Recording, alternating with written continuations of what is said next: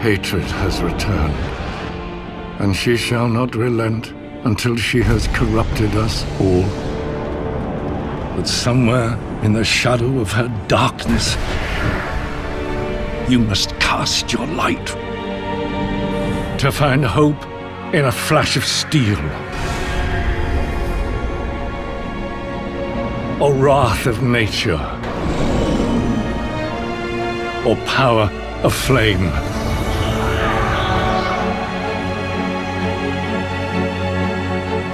You must stand up to hatred, or she will destroy us all. Your time is now.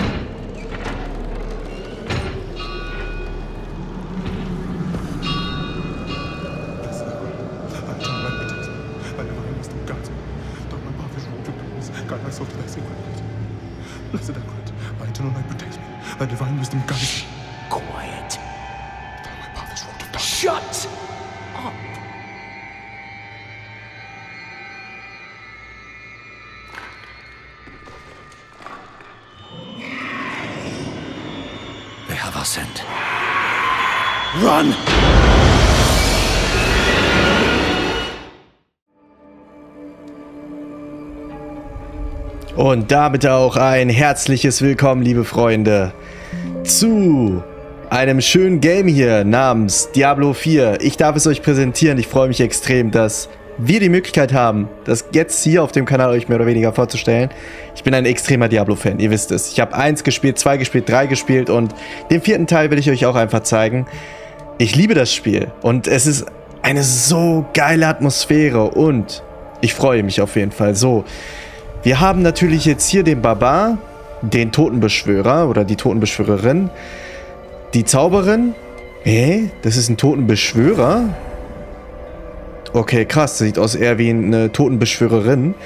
Ja, die Zauberin, die Jägerin logischerweise und den Druiden, auch geisteskrank. Wartet mal kurz, damit ihr den besser seht hier. Richtig geil. Ja, und ich möchte tatsächlich die Jägerin spielen. Ich könnte auch den, die Barbarin spielen, aber ich werde die Jägerin spielen. Los geht's. Es wird spaßig. Und falls ihr natürlich den Kanal nicht abonniert habt, dann lasst doch auch natürlich sehr gerne ein Abo und ein Like da.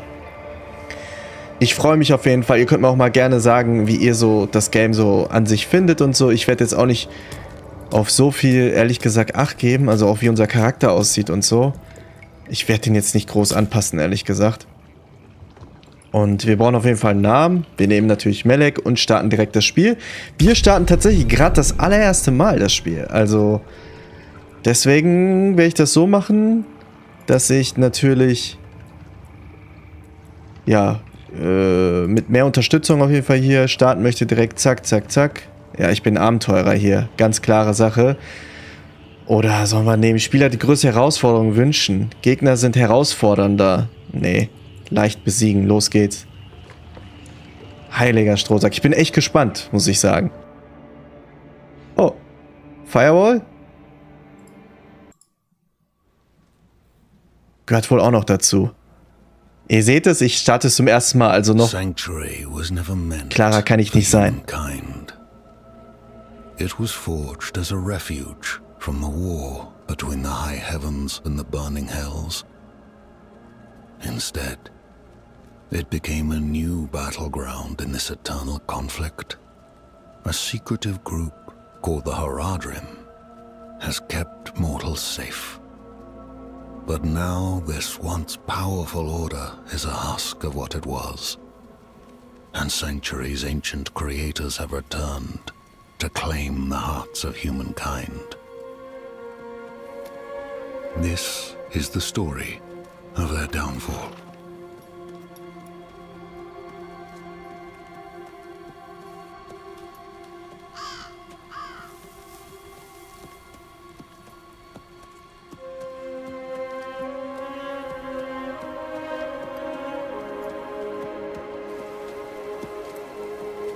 Das sieht umwerfend, das sieht umwerfend aus, oder Freunde?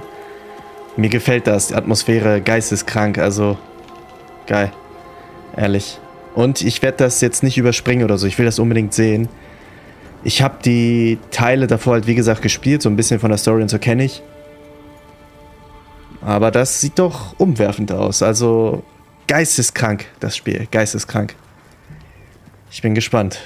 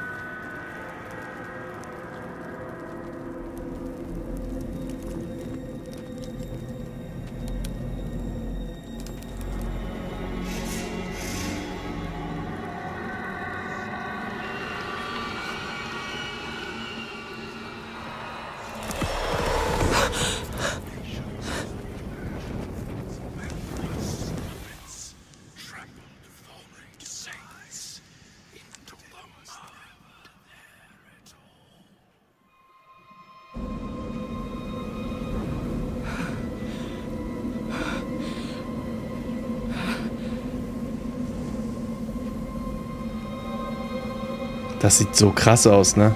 Ich weiß auch gerade gar nicht, ob wir das gerade auf Max Out spielen. Also, das müssen wir später nochmal irgendwie abklären. Und ich finde, Melek passt hier gerade sehr, sehr gut zu unserer Jägerin. Ich weiß nicht, was das noch alles mit der Story auf sich hat. Also, das werden wir bestimmt später erfahren oder so.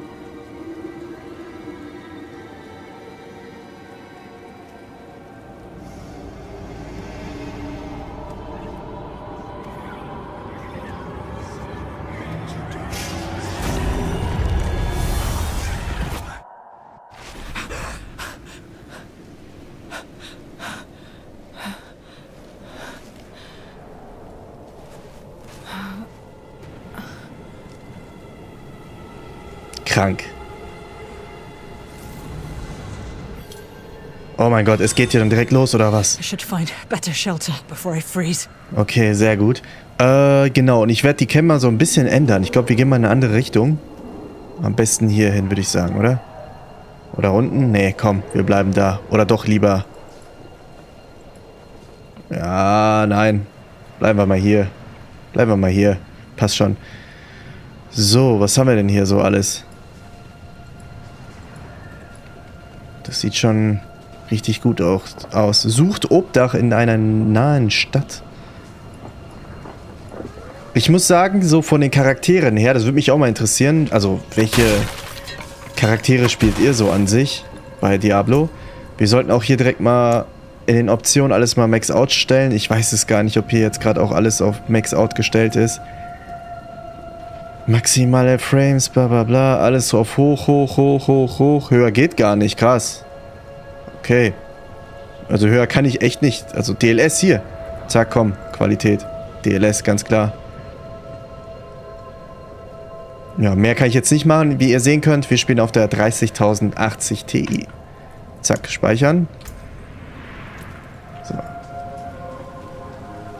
Okay, das sieht schon mal sehr, sehr nice aus.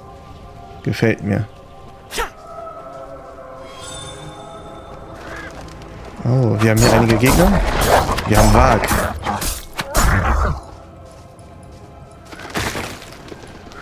Ich liebe diese Atmosphäre. Es ist halt auch natürlich, ihr müsst euch vorstellen, damals als Diablo so auf den Markt gekommen ist, solltet ihr zumindest so wissen, war das Game ultra krass im Hype. Das war für Blizzard einer der erfolgreichsten Spiele überhaupt. Und ich sage das auch nicht einfach so, weil ich das Game hier gerade euch vorstelle, sondern das ist, war wirklich so. Also, wenn ihr euch daran erinnert, zumindest die Leute, die jetzt auch mal so Diablo und so gespielt haben, 2000 wart ihr wahrscheinlich nicht auf der Erde oder einige schon, falls ihr jetzt einige Ü25, 26, 27 sind so. Die werden das natürlich mitbekommen haben, dass das Spiel damals ultra krass im Hype war, aber wirklich richtig übel im Hype war. Und das war halt anders. Also es war wirklich anders. Und es haben so viele Leute gespielt. Ich habe sogar tatsächlich bei meinem ja, Familienbekannten quasi gesehen, wie der Diablo 1 gespielt hat und gegen Diablo gekämpft hat quasi. Und ich habe nicht verstanden, was das so, also was er da gerade zockt und so. Und der erste Teil hat ja natürlich eine verblüffend Müllgrafik. Zu dem damaligen Zeitpunkt war das natürlich krass, aber trotzdem. Der Warg. Erinnert mich immer so ein bisschen an Herr der Ringe. So, wir müssen, glaube ich, Ob, also Obdach suchen in einer Nähe, in einer nahen Stadt. Berg der Dämmerung, das ist hier, aber ich würde gerne nochmal hier rüber gehen, wenn ich ehrlich sein soll. Ist schon krass, wirklich. Hier sind auch noch Wag. Ich fand das früher auch geil mit Diablo 2 zum Beispiel, mit dem Lager der Jägerinnen. Das war auch krass. Roads blocked. Should clear up when the storm has passed. Ja, und wie ihr sehen könnt, ist das Game so mit deutschen, ach, mit äh, englischen, mit englischer Synchro. Es wurde jetzt noch nicht auf Deutsch übersetzt. Aber ihr könnt ja, wie gesagt, einfach ja, euch das angucken. Es ist ja zumindest äh, wenigstens auf Deutsch. Und wir haben so ein Kartentagebuch, das zeige ich euch auch kurz. So sieht das aus. Nicht schlecht. Zersplitterter Gipfel. Xoxlen, Truppensteppe, Kyrgyzstan. Geil. Und da haben wir noch Has Havesa. Havesa oder wie der Ort heißt. Geil. Wirklich geil.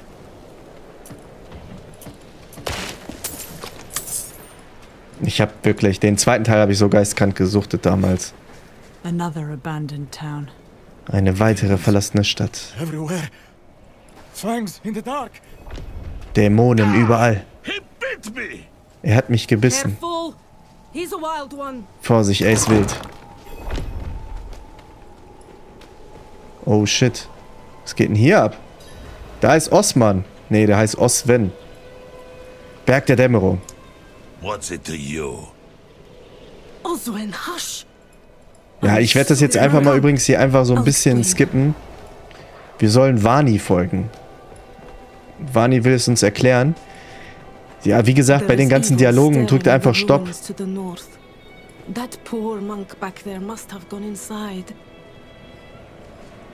Ich will euch auch gar nicht damit langweilen. Okay. Oh, sieht schon... Es sieht geil aus, muss ich sagen. Sieht, ist nice gemacht. Gefällt mir der Anfang. What's that? You say something? Okay, die haben, glaube ich, nicht so viel zu sagen. So, warte mal. Wir reden noch Vani. Berg der Dämmerung. Could you protect us from whatever is out there? I'm going to kill whatever's in those ruins before it gets the chance to kill me. Truly? Ja, okay, jetzt sind wir Level up, glaube ich, ne? So, wir können A drücken, um Fähigkeitspunkte natürlich zu skillen. Wir haben Gleitklinge. Belebender Schlag. Einstich. Herzsucher. Kraftvoller Fall. Also ich werde wahrscheinlich Gleitklinge nehmen. Zack. Äh, Gleitklinge? Ach so. Ach, das ist schon automatisch. Ah. Jetzt verstehe ich's. Okay. Oh, nicht schlecht. Also. I'm not ready yet. Krass. Man kann auch, glaube ich, so dodgen. Ich glaube, ich habe jetzt gerade so... Oh, okay, hier. Wow, krass. Okay, das war gut. Krass. Krasser Angriff auf jeden Fall. Okay, krass. Also Jägerin ist gar nicht so schlecht. Ich spiele eigentlich kaum Jägerin. Ich bin ja so... Ich weiß nicht, was bei eurer Lieblingsklasse ist, aber meine Lieblingsklasse ist wirklich so... Druide oder Totenschwörer. Immer und immer gewesen. Ich weiß nicht warum. Allein mit Golem und so. Es war immer für mich, also ich habe immer die Drecksarbeit den, ja, den Dienern machen lassen, den Lakaien. Aber so jetzt für mich. Krass, ehrlich. Ich mag, diese Atmosphäre ist geil. Diese, die Atmosphäre von Diablo ist und bleibt immer geil, ehrlich. So düster, das können, kann, kann Blizzard einfach richtig gut. Zwei Dinge, die Blizzard wirklich gut kann. Diablo-Spiele produzieren und meiner Meinung nach World of Warcraft. Das sind beides so krasse, geile Spiele. Obwohl ich selbst kein WoW so viel zocke oder Diablo, das ist das trotzdem geisteskrank. So, und jetzt müssen wir wohl weiter hier lang. Krass.